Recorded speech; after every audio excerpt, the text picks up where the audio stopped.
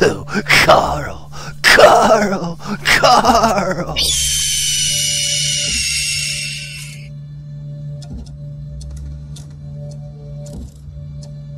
Years and years of research!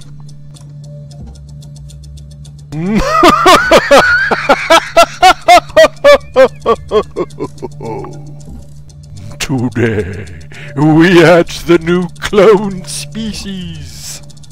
Imagine for a second, all we had was a long, slender-legged mosquito in amber.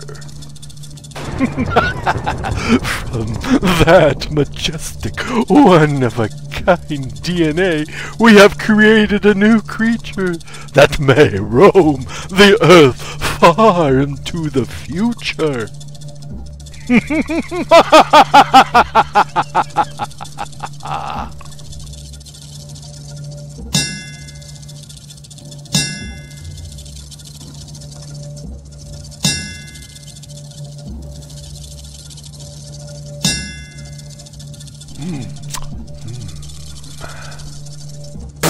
The sample must have been contaminated.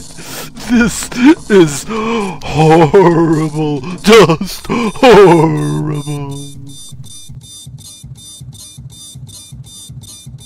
What will we do with it? Dino meat?